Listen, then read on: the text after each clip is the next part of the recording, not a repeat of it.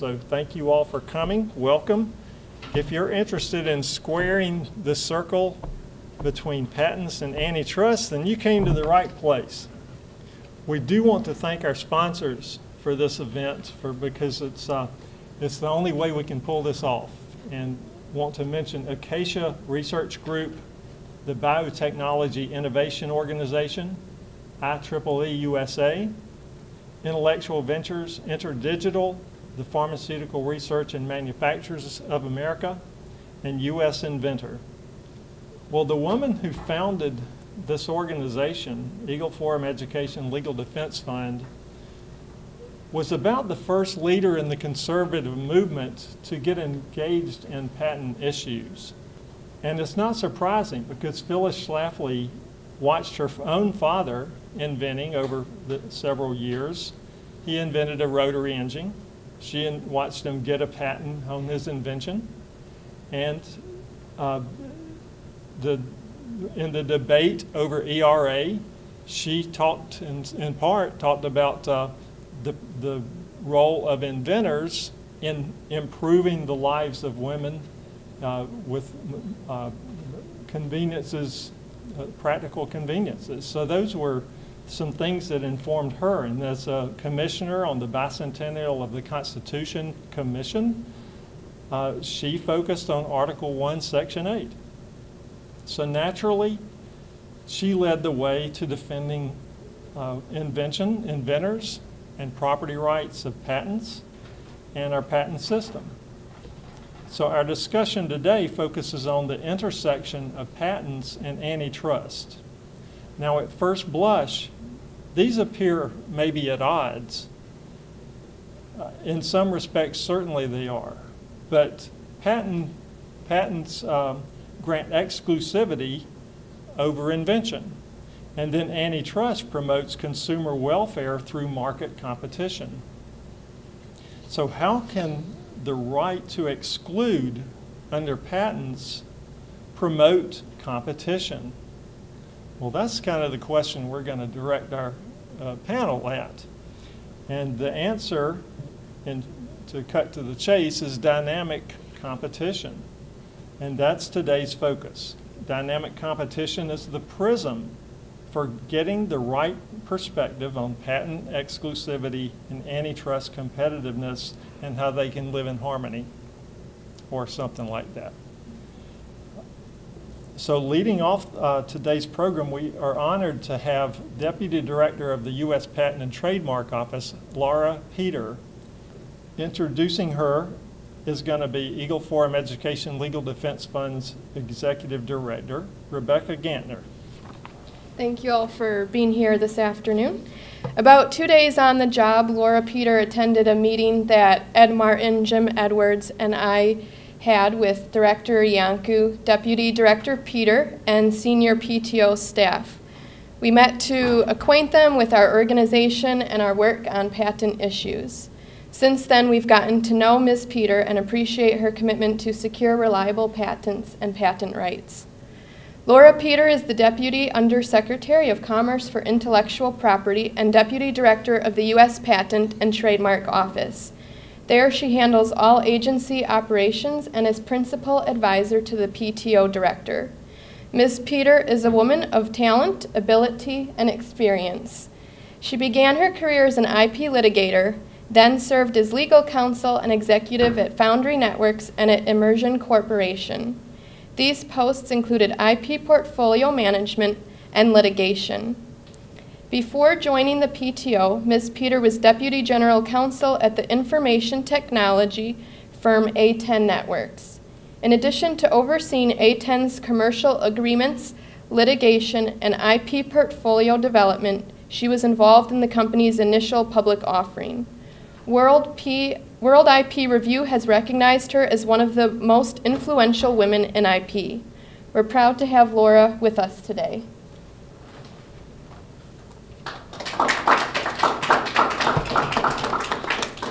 Thank you so much. I get to take my mask off too. I can breathe again. Good afternoon, everyone. Rebecca, thank you for that gracious introduction. That was lovely.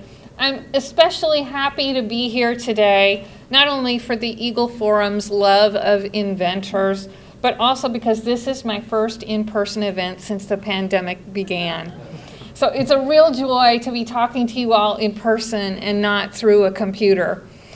Thank you to the Eagle Forum for your ardent friendship to American inventors and innovation, but also thank you for putting on this event in a safe and responsible way. It's a pleasure. I'd like to start with a little bit of philosophical grounding in uh, American intellectual property and how intellectual property became a part of our United States Constitution. Our founding fathers, Thomas Jefferson, George Washington, John Adams, and others, were all students of philosophy. John Locke was an 18th century political philosopher, and he had a great influence on all of them. His views is that human beings are endowed with certain natural rights, namely life, liberty, and property. And we know that those words found their way into the Declaration of Independence as written by Thomas Jefferson with a slight uh, alteration of life, liberty, and the pursuit of happiness.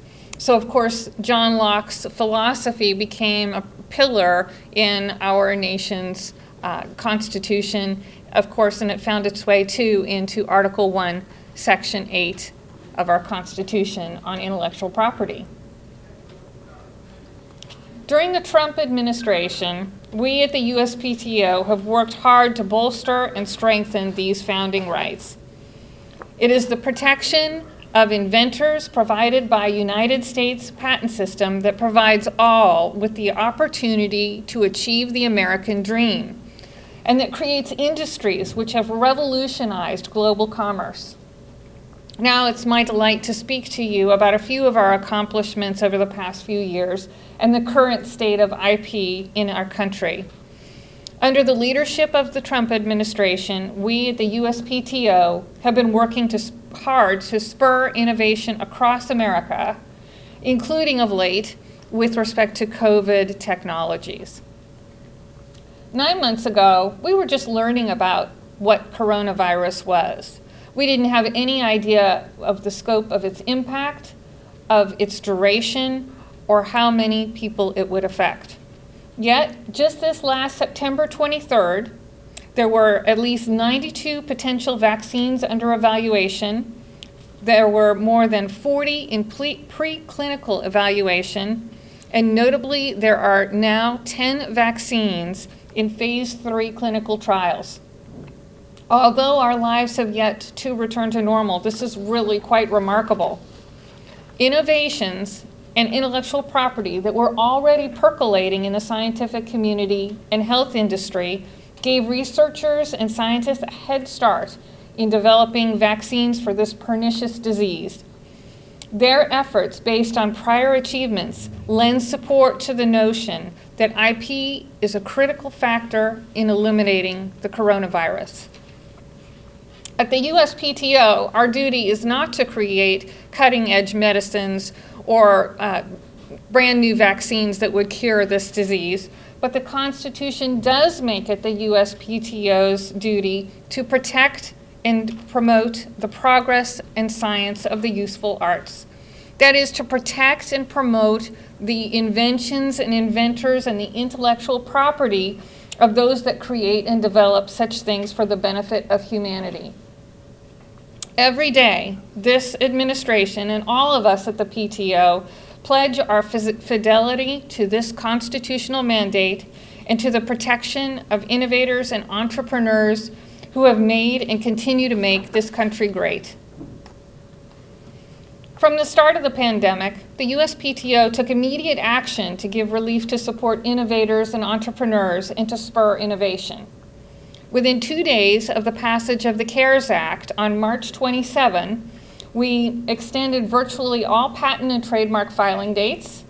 We made electronic filing available for almost all filings, including for the initial patent term extension document and filing for pat plant patents and we provided for early publication of COVID related applications. We initiated a new Patents for Partnership platform that lists COVID related patents and patent applications whose owners have designated them as available for licensing. We also created COVID 19 prioritized examination pilot program for both patents and trademarks for COVID related applications. This is so that they can get accelerated processing. These new initiatives aimed at ending the pandemic are proving to be very popular. We currently have more than 892 license postings on our Patents for Partnership platform. Plus, over 300 patent applicants and 170 trademark applicants have requested prioritized examination. And as a result of this program, we have 13 patents that have been allowed so far. We also created the COVID 19 Response Resource Center, which is a special section of our website dedicated to hosting information regarding all of our COVID related initiatives. You can access this page from the main page of our uspto.gov website. And there's a blue ribbon, ribbon across the page with some points of interest, and there's a link right there, smack dab in the middle, where you can get to the COVID Resource Center. According to the 2020 U.S. Chamber of Commerce's Global Innovation Policy Center, the GIPC, their international IP index, the U.S. has the second strongest intellectual property system in the world. And for trademarks and copyright protection, we have the strongest, and we rank at number one. That's good news. And it's the result of a lot of hard work by the folks at the USPTO who maintain our system of protecting inventors. For the United States to remain the world's preeminent power, we must continue to ensure reliable intellectual property rights are granted that can be meaningfully enforced. This issue is of immense importance to the current administration and also personally to the Director of the United States Patent and Trademark Office, Andrei Iancu, and to me. Over the past four years, we've instituted a number of reforms aimed at making United States patents more reliable, stable, and predictable. Specifically, we've taken action in the examination process and in the patent proceedings at the Patent Trial and Appeal Board, the PTAB, with respect to patent subject matter eligibility under Section 101. Although statutory language regarding patent subject matter eligibility has remained virtually unchanged since Thomas Jefferson's day in the 1790s, we know that certain judicial decisions introduced more uncertainty in Section 101's legal application recently. The USPTO's efforts to clarify these matters notably include the, two, the 2018 Berkheimer Memorandum and the 2019 revised patent subject matter eligibility guidelines. Since issuing both these sets of guidance, the USPTO has seen a significant drop in the rate of Section 101 subject matter eligibility rejections. And in fact, a report published in April confirmed the uncertainty, uncertainty decreased by about 44%. At the PTAB, there have been also important changes there. We have uh, instituted the PTAB claim construction standard, namely the change from the, the quote broadest reasonable interpretation standard to the Phillips standard, which is the same standard used by the federal courts and by the ITC, and also to, to post grant proceedings. Patent owners now have the opportunity to draft narrower claims if patent claims are invalidated post grant. Our PTAB also updated the trial practice guide and published two new standard operating procedures. One outlines procedures used for judicial assignments, and the second creates a precedential opinion panel. I am happy to report, too, that during the pandemic, our PTAB and TTAB, our Trademark Trial and Appeal Board, were among the first tribunals in the nation to adopt hearing procedures in a virtual setting. In July, we launched the Fast Track Appeals pilot program that allows appellants to accelerate the timeline for ex parte appeals. It's similar to accelerated examination of patent applications under our Track 1 program. So as you can see, we at the USPTO have remained busy and focused, and we continue to seek ideas for meaningful reforms and improvements. I'd be remiss at this event if I didn't mention the work surrounding the 2019 USPTO NIST Department of Justice Joint Policy Statement on Standard Essential Patents subject to voluntary RAND and FRAND commitment, uh, commitments. As you may know, some had read the earlier 2013 statement to sta- signal that injunctions and other exclusionary remedies should not be available in actions for infringement of standard essential patents. And then in 2014, the Federal Circuit emphatically stated that there is no per se rule that injunctions are not available. That was in Apple versus Motorola. So, taken together, it became clear we, it was time to issue a new policy. The 2019 statement intended to resolve this misinterpretation and to encourage balance in our patent ecosystem and to further strengthen patent rights. Overall, both licensees and licensors seem satisfied with the clarity of the 2019 policy that it provides. Of course, this has potential implications for antitrust enforcement as well and for the promotion of competition for the benefit of consumers. I defer to the rest of today's experts to discuss this in further detail, but we are generally seeing a trend emerging in the United States and European authorities determining that violations of SEP commitments are more of a breach of contract issues rather than antitrust issues. We at the USPTO look forward to continuing these discussion and engagement on these issues. Rest assured that all of the changes in recent months over the past four years of the administration and those that might come in the future have, made with, have been made with the goal of making our IP system reliable, predictable, and strong. These reforms ensure that all Americans can build on the ideals that our nation was founded on, and so that they can reap the rewards of their efforts which they have sown. A true commitment to the continued protection of our inventors will keep our country great and stronger than ever before. Now, I started with a discussion of America's founders, and I want to come back to that. Thomas Jefferson was a member of the first patent board under the Patent Act of 1790. In his words, ingenuity should receive a liberal encouragement. Thomas Jefferson was a true friend of inventors and innovation, and I try to be a friend as well as such. Thank you to the Eagle Forum for your continued advocacy on behalf of inventors and your devoted friendship to them. And thank you for inviting me here today.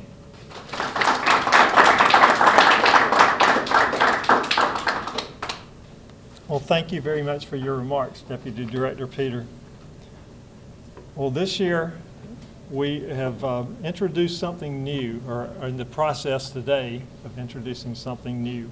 We created an award, the Phyllis Schlafly Friend of American Invention Award. With this award, Eagle Forum Education Legal Defense Fund recognizes leadership to strengthen the U.S. patent system and advance the exclusive right of inventors to their inventions for limited times. Recipients have shown leadership by advocating and working for reliable, enforceable patents. They stand up for inventors' freedom to exercise patent exclusivity and to reap the fruits of their inventive uh, labor. By what uh, we've observed during Laura Peters' tenure at the PTO, she mirrors the spirit of the Phyllis Schlafly uh, Friend of American Invention Award. Therefore, it's my pleasure to in invite her and John Schlafly, Phyllis's oldest son, to join me up here. And we have a little uh, memento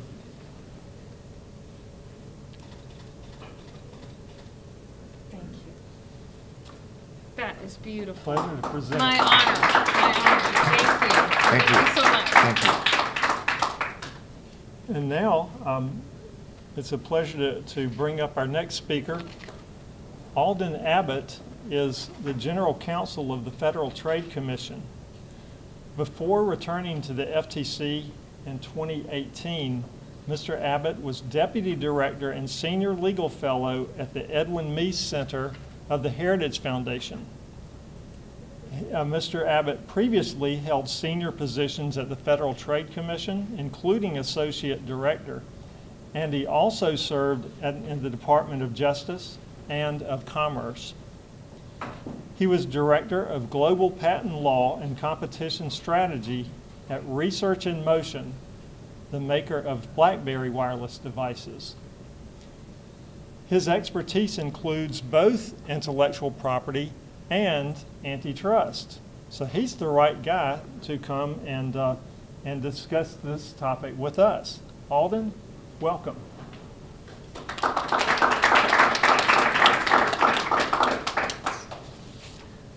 Uh, Well, thank you very much, Jim, for that very kind intro- introduction, and I want to also express my thanks to Rebecca, who's here, to uh, the Eagle Forum, to the Schlafly family for their support for strong intellectual property rights, uh, which are, as has already been noted by, by Laura, tremendously important to the future dynamism of the American economy.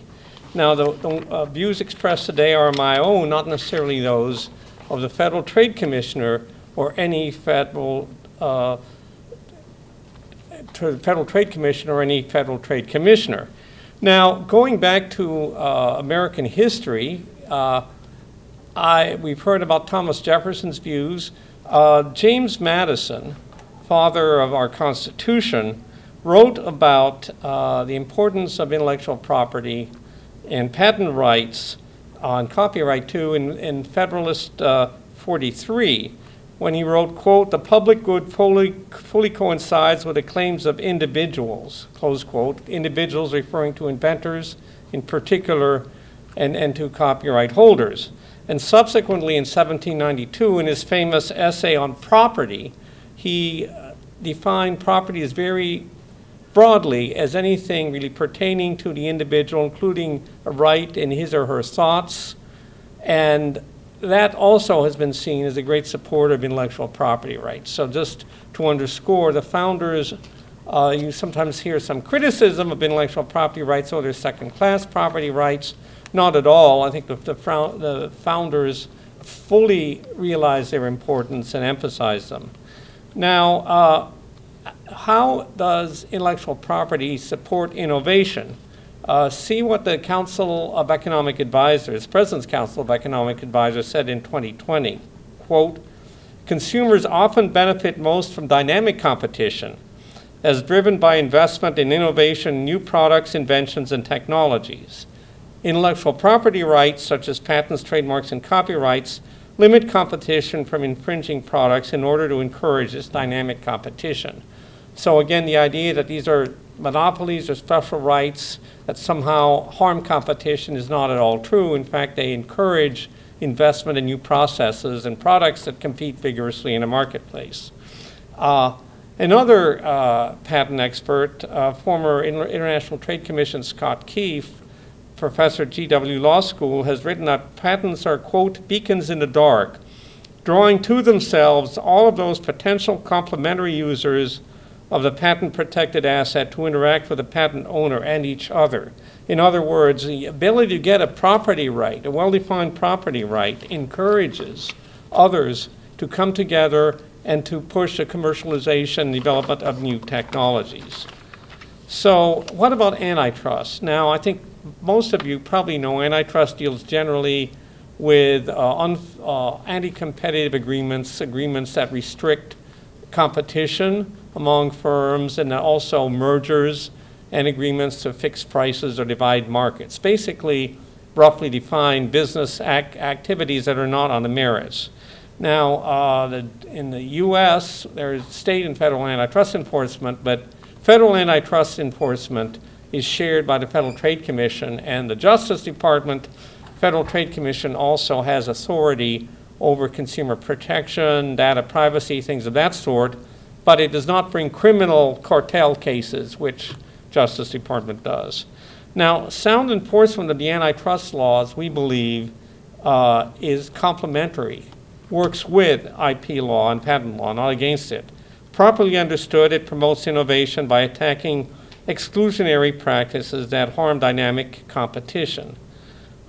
so, IP rights, as we've seen, encourage firms to engage in competition, but business schemes that diminish competition are not shielded by the mere fact uh, that IP rights are involved in the schemes.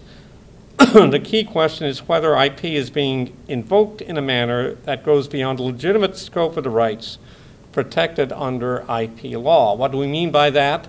The patent holder, certainly, uh, we believe, has the right to full returns on the intellectual property, to licensing full returns to that value, but uh, it doesn't have a right, say, to enter into a price fixing agreement with a, another patent holder who produces a competing patent or competing drug, so they fix the price of licenses to be able to produce drugs.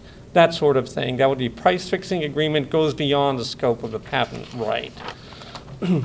now, the Federal Trade Commission, for over 20 years, has used policy tools to address emerging issues at the inter- intersection of antitrust and intellectual property, including convening public hearings to examine issues such as the role role of patent quality, and the role of antitrust to uh, promoting innovation.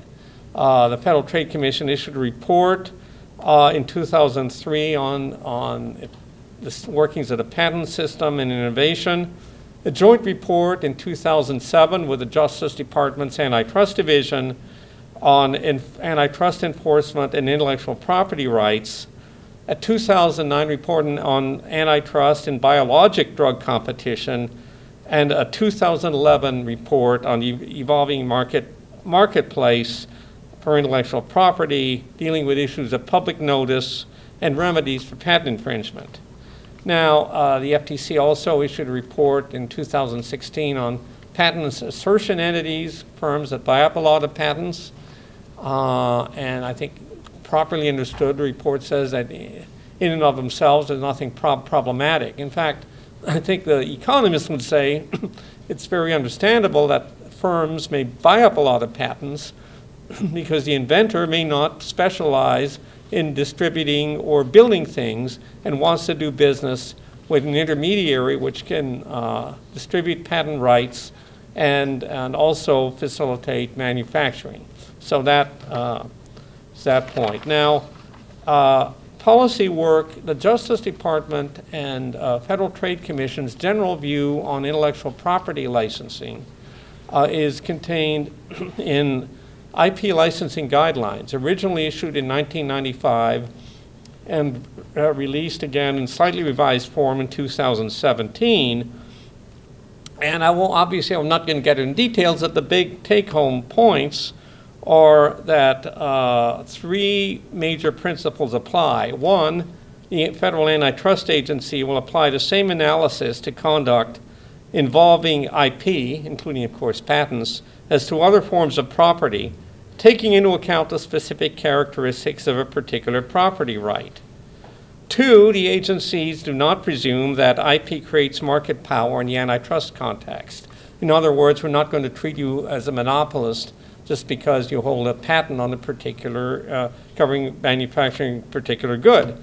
Three, the antitrust agencies recognize that IP licensing allows firms to com- combine complementary factors of production and is generally pro-competitive. And I'd underscore the it is generally uh, pro-competitive.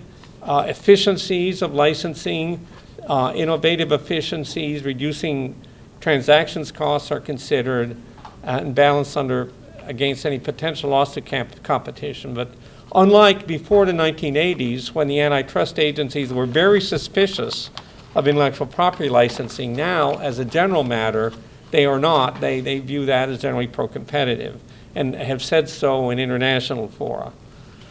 So, uh, beyond the guidelines, uh, the FTC has uh, held hearings, most recently 2018 and 19, on uh, patents, patents were taken up in the hearings on antitrust and consumer protection in 21st century.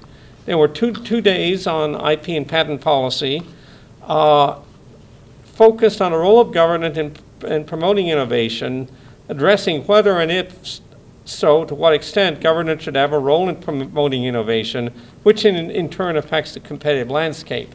What do I mean about the role of government? Well, for example, uh, the Bayh-Dole Act, many of you are familiar with, has sparked substantial innovation from federal labs by allowing private sector innovators to obtain patents based on R&D carried out at those labs, particularly in the biotech, pharma, and defense industries. And uh, so that's very important. Now, the 21st century hearings also uh, noted the Section 101 debate, which has already been uh, alluded to. My personal view, and I think the uh, view of probably a number of people here, is that the Supreme Court very unfortunately created uh, exemptions to patentable subject matter which can't be found in the la- la- language of the statute and has undoubtedly made it harder for patentees uh, uh, to uh, potentially obtain patents in the first place. I'm not going to talk about some other issues, but certainly that was raised. And interestingly enough, there was a report was alluded to. To uh, there was a 2020 August 2020 report by the Alliance of U.S. Startups and Inventors for Jobs, which already showed a shift of venture capital resources away from R&D intensive industries due to a patent system uh, that has facilitated patent infringement without consequences.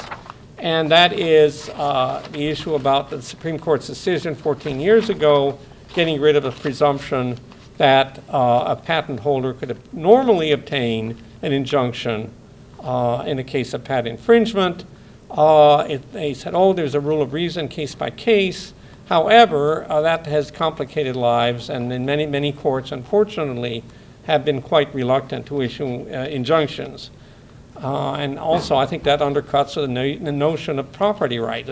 Owner of a parcel of land has a right to eject people or keep people off his or her property. Similarly, a patent holder should have the right to eject and join someone from using uh, their intellectual property. Now, uh, I think I alluded briefly, there's additional scholarship by uh, how legal changes have weakened patent system and undermined uh, innovation. Won't go into it. I meant, already mentioned injust, uh, injunctions.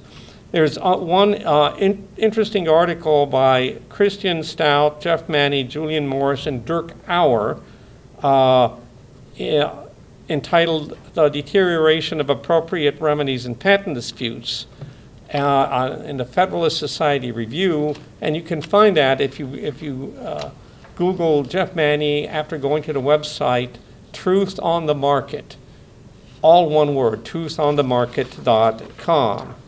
Now, I will talk briefly about FTC antitrust enforcement.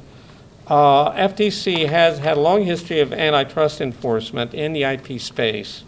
A lot of it uh, historically involving standard setting organizations, but frankly, in the last few years, very little of that. There were a number of, most of the cases involving standard setting organizations involved allegations that a patent holder was deceiving uh, a standard setting organization in order to induce development of a standard that uh, would create monopoly power because the patents of that firm would, was quote, unquote, read on, on the standard so they could get higher than normal ro- royalties.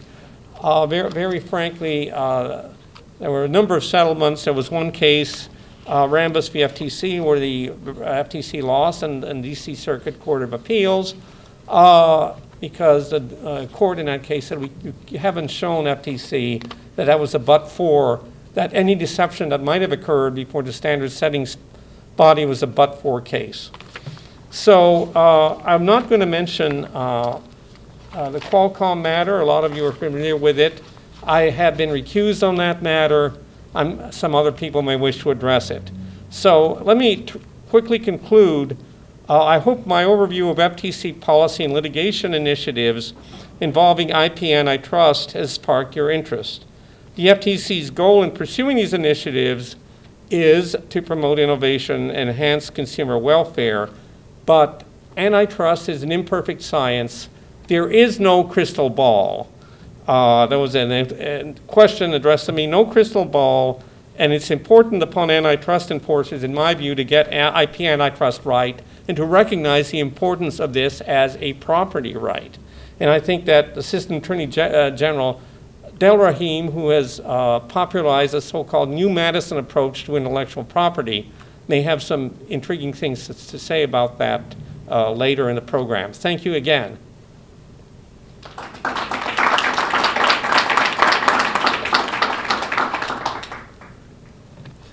Well, Alden Abbott, too, deserves the Phyllis Schlafly Friend of American Invention Award. His public service and thought leadership reflect the, the keen understanding of the exclusive property rights that patents secure, the innovative effects and dynamic competition that IP yield, and how these pro-competitive phenomena serve the interests of, of consumers.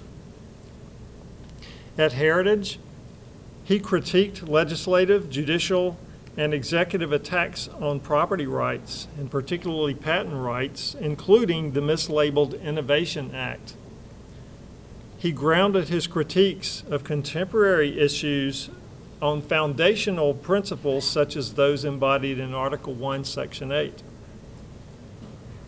He didn't shy away from criticizing his former agencies, and they apparently didn't take it personally. They took him back. But he continues to bear in mind the appropriate application of antitrust where IP is involved. So it's a pleasure to recognize Alden Abbott by presenting him the Phyllis Schlafly Friend of the Ameri- American Invention Award.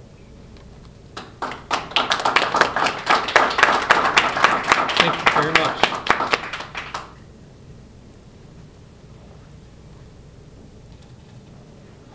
Our next speaker, Josh Malone, invented the top-selling summer toy Bunch O Balloons. You probably got to enjoy some of that this summer, I hope. Josh's patent and invention fills and ties 100 water balloons in less than a minute. Beats the old-fashioned way, huh, Josh?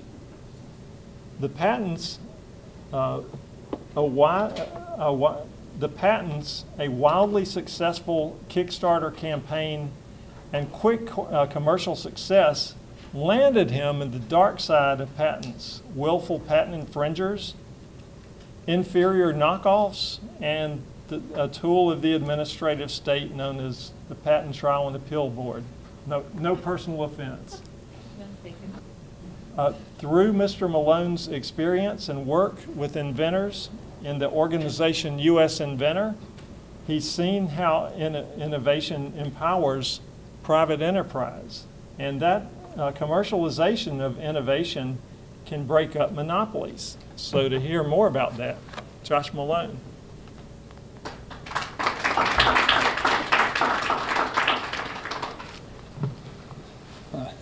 Thank you, Jim. Uh, Thank you to Phyllis Schlafly Eagles. Um, I actually was, uh, Phyllis Schlafly brought the patent situation to my attention uh, many decades ago um, with the the harmonization effort. And a lot of what we see today, I remember her uh, warning us about, and I really had no idea what she was talking about, even though I was an inventor. Um, She was way ahead of us. So, uh, yeah, so I I am an inventor. Um, I I think I'm still an inventor. It's been a long time since I invented. Uh, I've been uh, working my way through the, the legal system, and now I'm a, full-time uh, volunteer advocate with uh, U.S. Inventor. So, um, working to um, advance the cause and educate and uh, make things fair for, for inventors.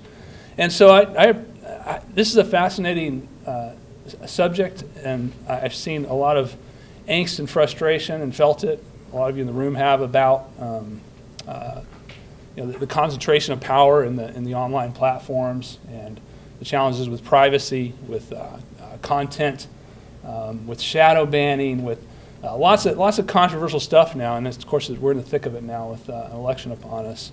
And I've thought for some time now that um, you know, there, there is a role for inventors and innovators to play in this. Um, a- At root, uh, consumers don't want these products that invade their privacy. Consumers don't want other people choosing their content for them. And so the question is why aren't there better choices? Why are we stuck with a handful of ways to communicate uh, with the world and with our networks? Um, we want better. Uh, we, we want better solutions as, as, a, as a consumer, and uh, you know this is a challenge from social science uh, uh, perspective, but it's also, I think, in some respects, a technology challenge. So I, you know, I remember, um, you know, when I was younger, I was I was going to be a trendsetter, and I, you know, I don't need, I don't. Marketing doesn't work on me. Why do they pay all that money for those advertise all those advertisements? Because I'm going to choose the best product that suits my needs. And as I grew up, I kind of I came to realize that someone has to somehow have to find out what's available, what's available to read, what's available to consume. And so, okay, well, I'm gonna go off the beaten path. I'm gonna get the catalog. Well, who chose what went in the catalog? Um, how does Amazon decide what goes on their marketplace? Uh, and so I, I came to realize that uh, this is a, an area that's a challenge. It's, it's, it's a technical challenge to decide what is the right product, what does the consumer want to see, and what should, what should, what should they have to choose from, and how do we narrow those selections? Um, you know, even especially with, with, with respect to the internet and search engines. So, do you use AltaVista? Do you use Ask Jeeves? Um, you know, of course, now we use Google, right? Um, but even today, we have uh, we have other options, right? There's DuckDuckGo, and if we really care about privacy and um, uh, uh, independence and, and, and transparency, then we can uh, we can turn to products like uh, lost my place. We can turn to products like uh, Signal, Proton Mail, and Tor. Anybody use those products? Um, I feel like I should, but uh, honestly, they're, they're, they're difficult to get to. Um, I, how many of us use uh, the default newsreader on our devices, Apple News or uh, uh, uh, Google, Google News page? Um, how many of us use Bing as our search engine? So these things are uh, these things are problems. There are solutions out there, right? But for some reason, they're not available, or they're, they're hard to. So, so one of the problems here is some of some of it's a technology problem. So there are some technologies out there that we're just not using, but those technologies need to be improved. There's also a systems problem, and for inventors, and I'm gonna, hopefully I can channel my inventor here a little bit for you guys today. Um, we look at things as a whole, and we're not bound to the normal way of doing things. So the question is, why can't, so, so if I want to use um, a social media platform, uh, there's a new one out called Parler. I don't know if anyone signed up for Parler. I signed up, I have never used it. Um, it's supposed to be an alternative to Facebook. And so why can't we use a platform and then communicate with our network on that platform? Right? With, with postal mail, you know how to communicate to your network. With, with the phone lines, you know how to communicate to your network. And with, with email, you know how to communicate to your network. But these newer platforms, like the only ones where your friends are is Facebook, except for your friends that don't use Facebook anymore. And so we've got a problem to solve, and it's partly a technological problem, it's partly a systems problem. Um, there's uh, some of these technologies are available, but they're not widely used. And um, there's this concentration of, hey, if you want to use a search engine, use uh, Google, and if you want to communicate with your friends, use Facebook or Twitter. Um, and so the question is, uh, is there a way to use these tools, these technologies, and th- that the market wants? We want privacy, we want control over our content, and there's some tools out there. How can we get our network to use those tools? Is it possible? Well, yes, an inventor says there has to be a way. And so, as inventors, we think, you know, we should be able to disrupt this industry uh, by bringing a better product. It's all about competition, about the free market. So, if we have a better product, then people will come. Um, in fact, that's how I came up with a Bunch O Balloons, right? That was, uh, for 63 years, people were filling balloons one at a time and tying them with a knot. And um, because that's the only way there was to do it. I mean, what, what else are you going to do? You've got to have a water balloon war, so you better plan ahead and you better uh, get those balloons together. It, it, there was even a service, uh, uh, an entrepreneurial couple figured out they could fill people's water balloons for them and deliver them. and that was a big that was a business in 2012. Um, the University of Kentucky set the Guinness Book of World Records for a water balloon fight. I think they had uh, half a million participants almost in their water balloon fight. They had this crazy uh, logistical uh, situation where they would pre-fill the balloons for the week ahead and they would store them in refrigerated warehouses and refrigerated trucks so that they would last long enough to get to the water balloon fight. Um, so, and that's the world. And today, that, today our world is what it is. But today you don't, that's not how you fill water balloons because I said there has to be a better way. And it's really fascinating. I, I really learned as I got involved in patent policy more about uh, our founder's view of patents. And it was really striking to me that the language used in the Constitution is uh, securing to the inventor the exclusive right to their discoveries. And that really is my motto. Like, we're not creating things from scratch, we're discovering things that already exist. So, all the, all the problems that we face, including the problems with um, uh, these, these large incumbent corporations that are using their market power to give us crappy products, there is a solution to that, and it's, it's up to us to discover it. Um, so, again, for an inventor, uh, there's, there's really no limits. And so, um, maybe I'll be a little bit provo- provocative here, and the hot topic is 5G. Well, what is 5G? 5G is 20 kilobit, uh, kilobits per, uh, 20 gigabits per second at a certain uh, number of uh, a certain amount of bandwidth, and um, it's largely been an engineering activity uh, it, it, from my point of view. There's a lot of patents in that space.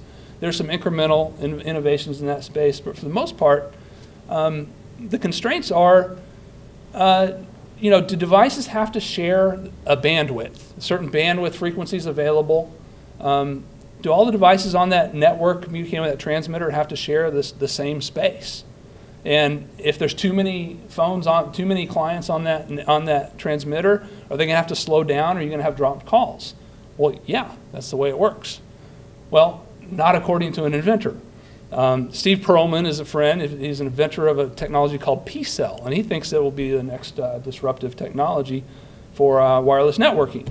Um, quoting from uh, his, his uh, uh, summary, P-Cell meets the proposed 5G performance targets today. While remaining compatible with 4G devices, P-Cell technology accomplishes this through an entirely new approach to wireless. P-Cell embraces interference, utilizing interfering transmissions to synthesize a tiny personal cell, a P-cell, around each individual user, enabling each, every user to utilize the full capacity of the spectrum at once. So it's not linear to him. Uh, instead of many users sharing the limited capacity of one cell, resulting in steadily declining data rates as new subscribers join the network. With P-cell technology, each user gets a personal cell. So no matter how many users are sharing the same spectrum, each user is able to experience the full capacity of the spectrum concurrently with other users. I don't understand that. Um, but I respect it, right? And it's hard sometimes to see things. If you're not an inventor, it's easy to take things for granted. And things come into existence through inventors. And then it's like, well, duh, of course. And so inventors aren't bound to these, these boxes. And this is just one idea for tackling wireless communications problems. And maybe, maybe it doesn't have to be wireless. Um, maybe uh, inventors will come up with a way to use multimodal communication technologies and mesh networks. And maybe sometimes you're using data, sometimes you're using uh, uh, optical. And so we have other ways to uh, attack these, these problems that no one's ever thought of before. Um, so why, uh, why is competition shrinking? Why aren't we solving this? I think it's partly due to the poor incentives for disruptive innovation. Um, you know, we have, uh, we have a few, you know, we have a couple of examples of, of innovative technologies that I, you know, one that I used and I appreciated for a while was the Waze mapping technology. Um, it was revolutionary to me. I thought it could tell you where the hazards were, tell you where the police were when you're on a road trip. Um, it was bought by Google for a billion dollars and shelved for about six years. Uh, Instagram, uh, bought by Facebook and, and, and integrated for a billion dollars. Why are these disruptive technologies being sold for one tenth of 1% of the market cap of the acquisition company? Um, I think it's because they can't protect their exclusive technologies through the patent system. Uh, today, if you build a better mousetrap, the world will beat a path to your door and steal it. Um, The answer, one answer, it's not a panacea, but uh, one way to tackle the, the challenge of uh, monopolistic behavior and abuse of market power by large trillion dollar corporations is to disrupt them with innovation. But to do that, we have to, the owners of that technology have to be able to have exclusive rights to it. So they can't be uh, intruded on, so, that, so that they can't be gobbled up for bargain prices like a billion dollars um, when it's, it's a core technology for, for these companies. So we've mentioned it already. I'll go through the list of, of uh, the three main challenges um, that we're facing. Uh, injunctions are very difficult to obtain, so it's, if it's not an exclusive right, what kind of a right is it? We now have a compulsory licensing system under eBay. Uh, another problem that's often overlooked is uh, to enforce those patents costs you about uh, 10 years in litigation. And only after you get through the 10 years uh, might you get that injunction. So just a, for a startup to be able to survive 10 years trying to acquire and enforce their exclusive rights is a challenge. Um, and then the final uh, challenge has been the Patent Trial and Appeal Board with uh, uh, incredibly high invalidation rates. It's, it's uh, discouraging to inventors and startups um, when they can't rely on uh, the exclusive right when they do succeed. And again, this is focused on uh, breakthrough technologies where we really do have innovation, inventions that would not have existed but for the patent system. Uh, that's one uh, very effective way um, to utilize the market and uh, to disrupt and provide and, re and reduce anti-competitive behavior. Um, so that, that's, my, uh, that's my story. Thank you.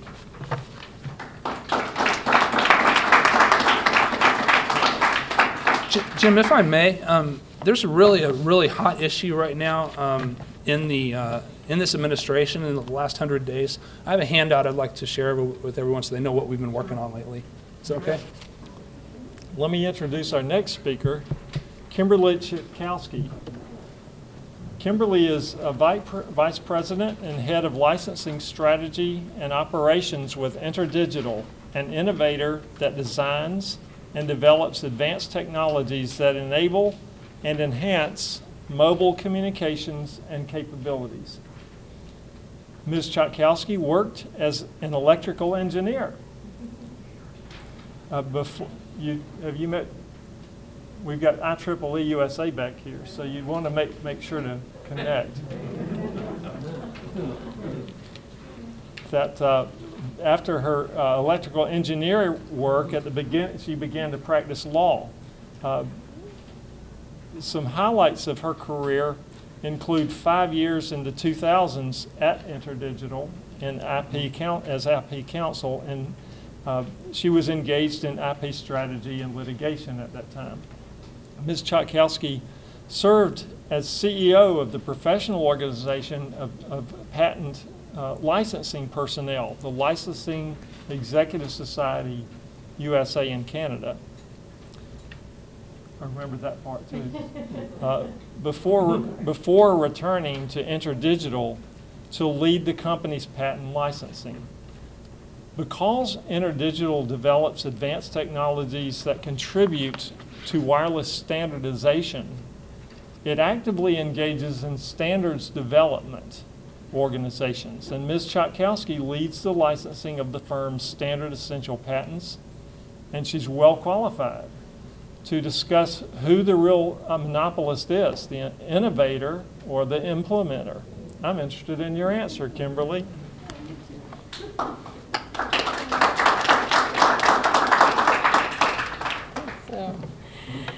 Hello and good afternoon. As uh, stated, uh, my name is Kim Chotkowski and I am the head of uh, licensing strategy and operations for InterDigital.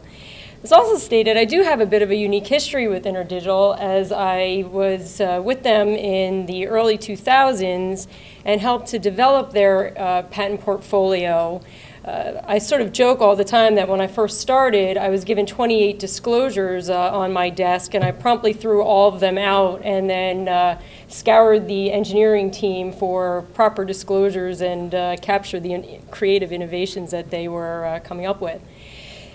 I left in about 2007 and had my own intellectual property licensing firm uh, for about 12 years. And then I was lucky enough to be chosen by uh, the board of directors of LES, of which one of the wonderful uh, presidents that I work for just walked in the room. So nice to see you, Brian. And I became their first CEO uh, and only CEO uh, that I'm aware of uh, from the Licensing Executive Society. During that time, I was uh, lucky enough to work with uh, the Eagle Forum and to get involved in this for the effort for the stronger patents and, and to really wave the flag in that space. So I'm honored to be here and, and to have that opportunity. Uh, during that gap period, and oh, and obviously I'm back at InterDigital now for two years. It is very interesting, I will have to tell you, because as I walked down the hall, one of the first days, I saw the same faces, but they just had a little grayer hair and maybe a few more pounds on them. So it was a little, a very unique experience that I had. But during that gap time, I had the opportunity to also represent not only the uh, innovator, but also the implementer. So I do have a little bit of a unique perspective from that stem. First, I also would like to thank the Eagle Forum and uh, Jim and Rebecca and John for the time here today and the opportunity to say a few words. It is, as many of us have said, our first outing, you know, from uh, the COVID, uh, the vid, the Rona, whatever your, uh, your term might be. Um, our company decided, as many in March, that uh, everybody should have the safety and health opportunities to work at home. What they didn't say is what home you had to work from. So I picked up my entire family and moved down to the beach. So I have to admit, this is the first time I've put heels on and a suit. So it's, uh, it was a little odd trying to get dressed today.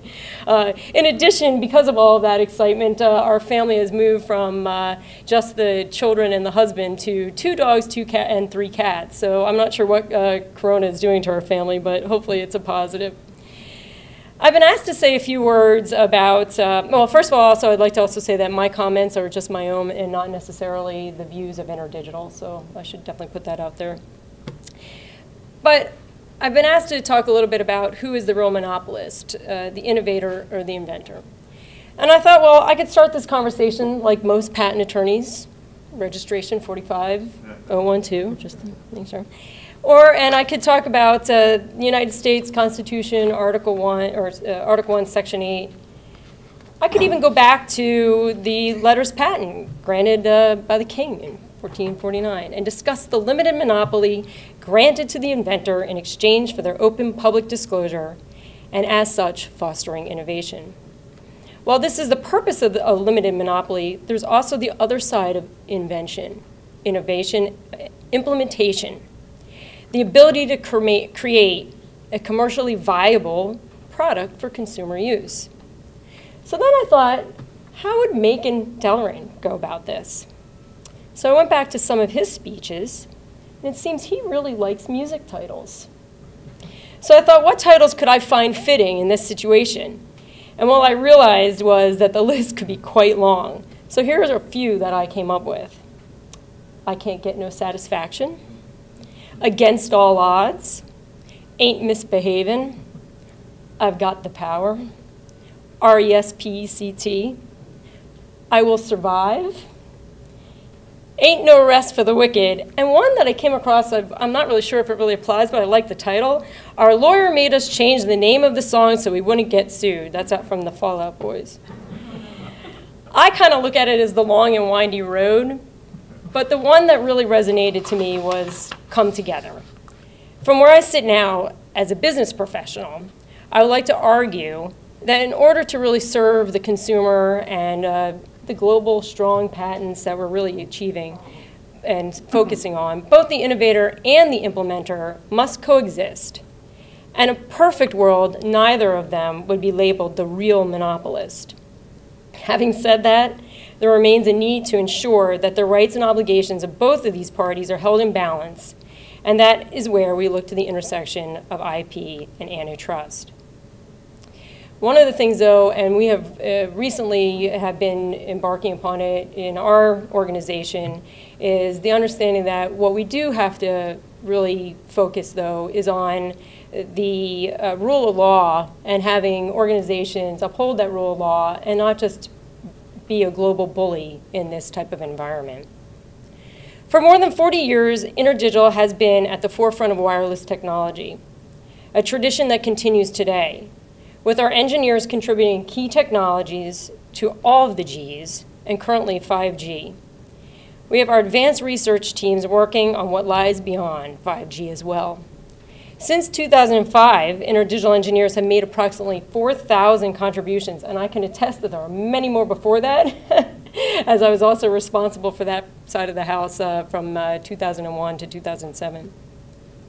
Whether it's in standards development, advanced research, award-winning partner-driven projects, or prototyping new capabilities for wireless networks and devices, InterDigital's capabilities are driven by our uniting principles, a strong belief in global standards, a commitment to platforms and capabilities that are geared to research instead of products, and, desi and desire to see our industry grow and progress.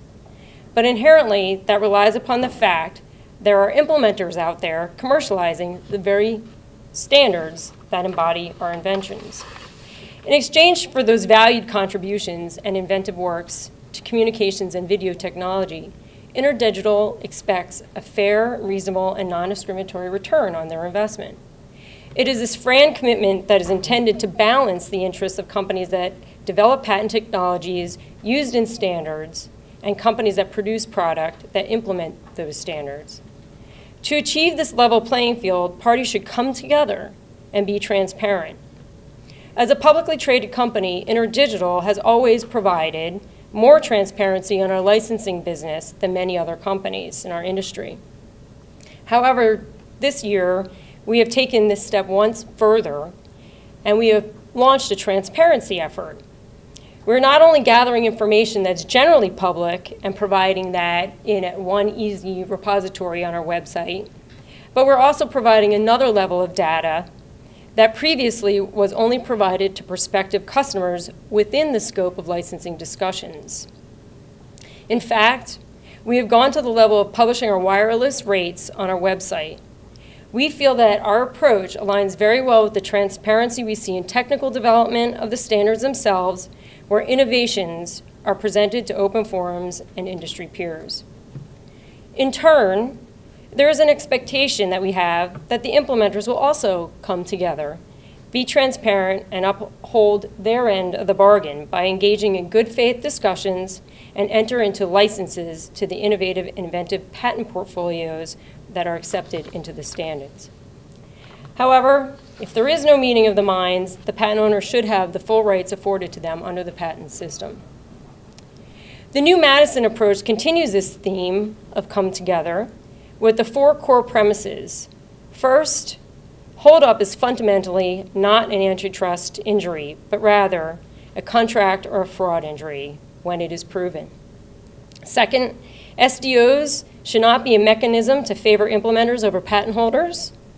Third, recognizing that a fundamental right in the patent right is the right to exclude, and injunctive re remedies should not be disfavored.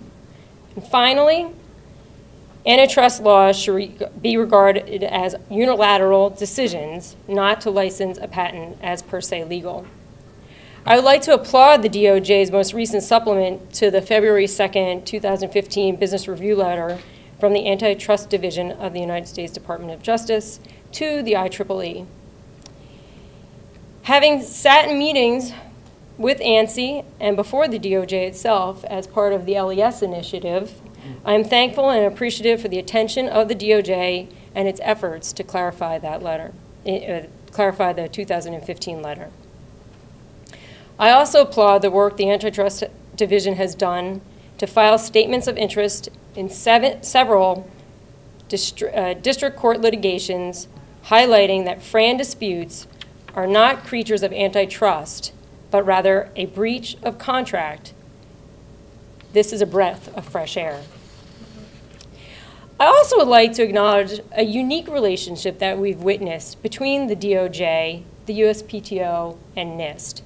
This coming together of the departments is truly a trifecta of collaboration unprecedented in my time. And we applaud the recent policy statement of the three departments on the standard essential patents. The relationship that each of those has is clearly seen as they are often on stage together and how they have worked in all of their interdepartments. While each of these individual topics could have days and seminars dedicated, and Brian, this is not just for LES, I actually wrote this.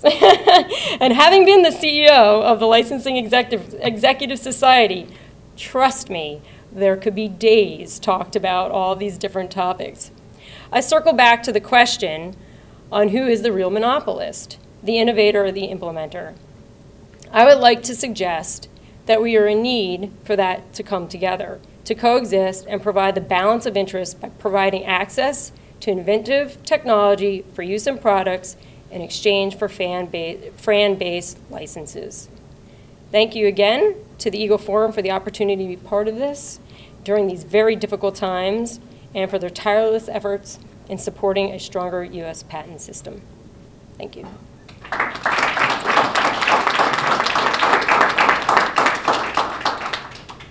Our uh, final speaker is Patrick Kilbride. Patrick Kilbride is the Senior Vice President of the Global Innovation Policy uh, Center at the U.S. Chamber of Commerce.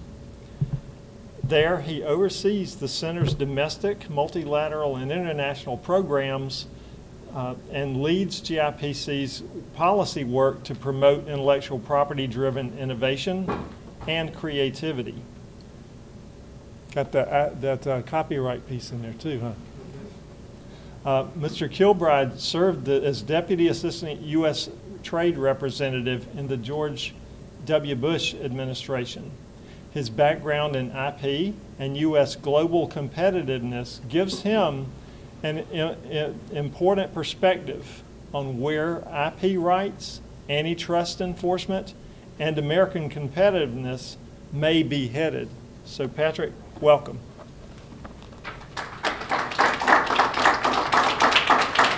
Thank you, Jim, and thank you, John, to everyone involved with the Eagle Forum. I guess thank you first of all, for inviting me to be part of uh, this dialogue with a really distinguished group of, of thought leaders. But most especially, Jim, thank you to you. I think uh, it'd be hard to point to a more prolific and compelling thought leader on some of these issues than you. You just consistently keep uh, us zeroed in on the really core issues in the, in the intellectual property debate. I'm very grateful. So who'd have thought a year ago that we'd all be here doing this? Uh, it really is a shame. Um, but there is, uh, I, I, think, some hope that we see out of it. And uh, I'd like to leave you, I'd like to talk about three numbers. One is uh, 784, the other is three, and the last is five. And I'll, and I'll start with 784. Today, the U.S. Chamber of Commerce is tracking 784 COVID-related clinical trials for therapies and vaccines taking part across all 50 states, about 85% of congressional districts, and including more than 13 million Americans. So the fight against COVID-19 is taking, a, taking place in every community in our country. People are doing everything they can to bring therapies, to bring vaccines as quickly as possible, and they are succeeding.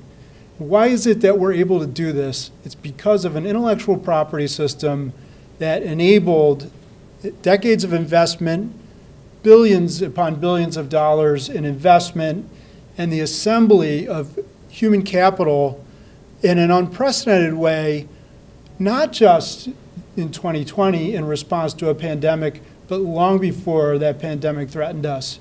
And so today you see a robust pipeline of solutions ready to meet this challenge.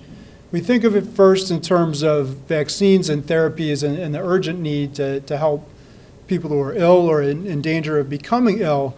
But really, when you think for most of us, the most urgent need is in terms of content, news content, information, educational content, the ability to work remotely, the ability to stay connected with the people that we love and the people that we need to be productive. U.S. intellectual property has provided that. U.S. innovators and creators have brought these solutions over many years uh, in terms of uh, 5G capacity, in terms of uh, new streaming channels to access information and, and, and entertainment. And so we were ready. Uh, maybe not to the degree that we would have liked to have been, but we were ready to meet this challenge. Uh, what is it behind that IP system that's worked so well? Well, first of all, when you assign clear, transparent, and reliable intellectual property rights, you enable the allocation of resources. You enable investors to say, I can see a productive benefit to putting resources into a riskier uh, proposition than they would otherwise. And they often have to do that with long, long time frames. You know, uh, in, in uh, areas where you may, you may never see a return. In uh, the biopharmaceutical space, for every uh, 10 drugs entering clinical trials, only one ever makes it to market. For in the movies, you have 20 films, one blockbuster pays for the other 19. These are risky propositions that don't happen without clear, transparent, and predictable rights. So we should be grateful that our founders, first of all, and that leaders like you over many decades have supported these rights. Today, uh, that, that onus falls on us here to, to sustain that. Um, and, and we are, are in a challenging time, but also, I think, a time of immense opportunity. That takes me to that next number, three. Um, how did we get here? And, and not just here, you know, in the United States, but all of us as a, as a global society. I, as I look at it, I see three traps. Two of them are, are well known. The first is the Malthusian trap, and that was the theory that uh, gains in productivity would always be matched by gains in population so that the human situation would never get better. Well, intellectual property and the uh, industrial revolution that it enabled blew that trap out of the water. Today, we're, we're beyond the Malthusian trap when we see productivity growing at a faster pace than population. You see the emergence for the first time in human history of a global middle class that we need to fight to preserve today in this pandemic. Um, the second trap is the middle income trap. Uh, and that was uh, proposed by uh, a couple of World Bank economists, you know, uh, a couple decades ago. And um, the, idea there was that low-income countries having uh, leveraged labor resources or, or natural resources to go from lower to middle income were then stuck. They couldn't make the leap to upper income. And the reason, I believe, is because they put the infrastructure in place to bring labor and you know minerals and, and such to, to use, but they didn't yet they didn't see that to become upper income countries, they had to succeed in a new type of infrastructure for a value added economy. And so you've seen countries like Chile, for instance, with immense natural resources, put in place a, uh, really robust trade infrastructure with agree- more trade agreements than any country in the world. And they did really well at selling their fruit and their copper, but then they've stagnated. They haven't been able to make that leap. I would argue it's because they have not embraced and they've actually, actually actively rejected uh, an intellectual property system, despite the, you know, the U.S. free trade agreement with Chile that called for them to do that. Um, and when we've seen that repeated uh, in countries around the world, that brings us to the third trap. And this is where we are today in the United States, uh, where, where I think all developed countries are. And this is what I'm calling the missing capital trap because we have this latent reserve of intellectual assets, our knowledge and know-how that we've failed to capitalize. We've done a better job than anybody else in the world, don't get me wrong. We established the strongest system of patent rights and copyrights and trademarks. We've been forward-leaning on trade secrets, but those are fairly limited in, in scope. Our ambition has been very modest. Today, as we, uh, as we gather intellectual resources, as we depend more and more on an economy driven by intangible assets, and the, and the numbers here are that 30 years ago, our economy and, and market value was represented about 15% in intangible assets, you know, in idea, knowledge-based assets, and 85% in physical capital. Today, it's exactly the opposite.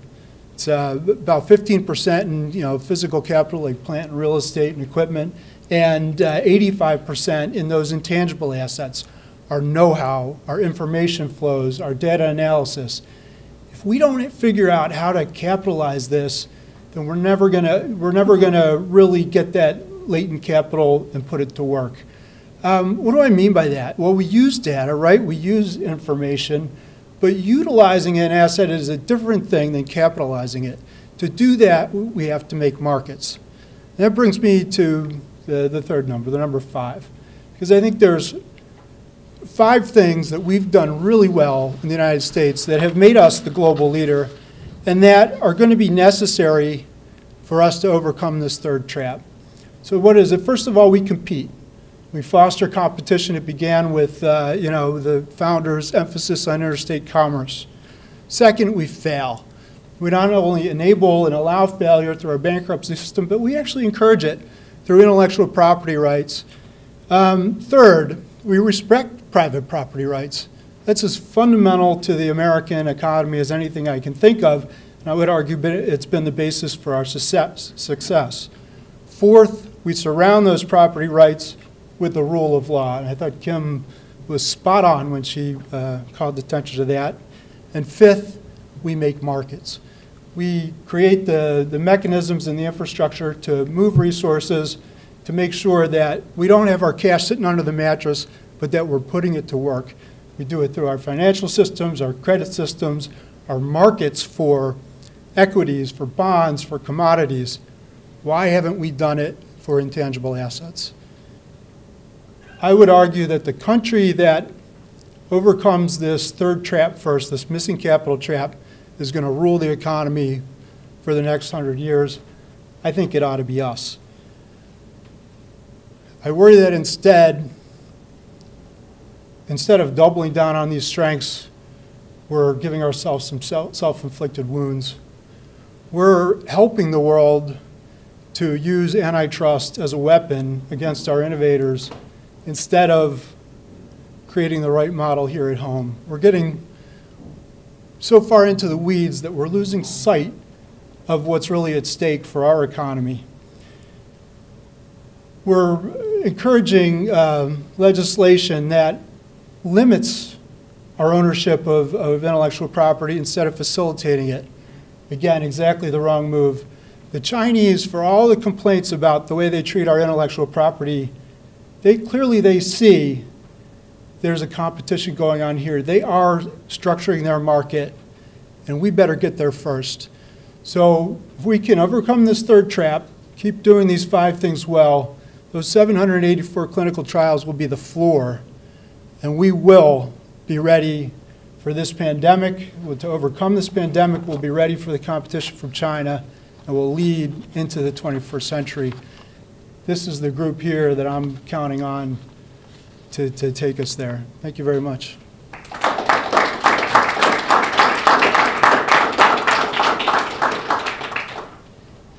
Thank you, Patrick. And thank you to all of our speakers today. Would you please give a, a round of applause for all of our panelists?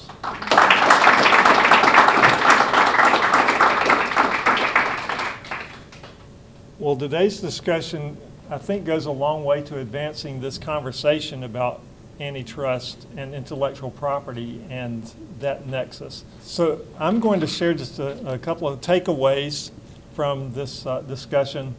Uh, I think first place to start is that inventions spark competition. That should be a takeaway, I do believe. If not the only takeaway, then the fundamental one. In inventions spark competition. How so?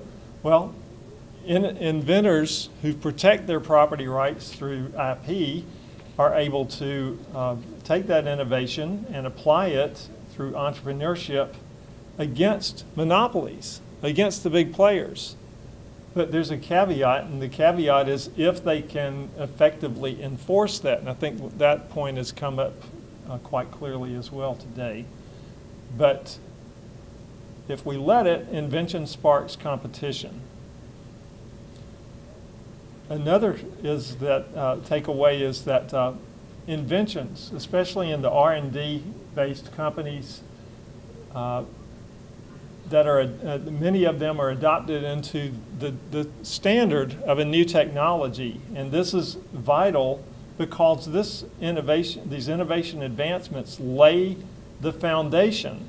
They laid the enabling foundation for others to build on. And that's the point. You've got the, the ones who, who create the standard setting enabling inventions, it gets translated into standardization, which en- enables others to build on it. And that, I think, was pointed out by Kim particularly, that that is, uh, is- they're, both have a role. My takeaway is that you can't have the application on top if you don't have the, the foundation underneath. So in priority, it should be, be uh, really uh, viewed as, as essential to, uh, to promote standardization and to give, uh, yes, fair, reasonable, and non-discriminatory, but fair market returns on the, the foundation, the, the, uh, the standardization uh, related patents and inventions. Another takeaway is that inventors bore the risks. And so those inventor, inventors and innovators deserve the rewards. And I think that the, uh, the joint policy statement that was referenced earlier uh, goes a long way toward establishing that standard essential patents, as well as all other patent and IP owners, should have access to reasonable royalties and other remedies, uh, injunctive relief, lost profits, uh, enhanced damages when there's willful infringement, and so forth. Another takeaway that I would uh, suggest is that um, innovators who bore those upfront costs and risks may be more likely to face holdout by implementers in many instances than innovators are to be holding up the licensing of their patents. It seems sometimes there are a lot of, of uh, instances where implementers can get away with refusing to negotiate licensing agreements in good faith. They can turn around and charge innovators with anti-competitive conduct. They cry antitrust and seek to turn a FRAND commitment into a compulsory licensing clause. There's something wrong with that picture. Another takeaway, antitrust enforcers and lawmakers with a bone to pick with successful innovators don't have crystal balls. They don't know what invention is going to be a commercial success. They don't know which technology will contribute to a standard someday. They don't know which applications will be developed to implement the technology and thereby serve consumer welfare. And the chances, frankly, of commercial success are pretty slim. So making up novel antitrust laws to punish iterative invention or antitrust enforcement imprudently applied against innovators who are engaged in dynamic competition can be highly destructive. And such legislating and regulatory enforcement ultimately, to me, seems to harm consumer welfare. Finally, fostering dynamic competition through antitrust enforcement humility when IP is involved is extremely important. It's important for the respecting of intellectual property rights. It's important for benefiting from all the, the potential innovation effects. It's important for America's industrial comp- competitiveness. It's important for our national security. And it's important for progress of the useful arts. With that, thank you again for all of you joining us today. And thank you for your contribution as, as good listeners. Uh, we appreciate once more the, the support of our, our sponsors, and we hope to see you at the reception in a little while. Thank you.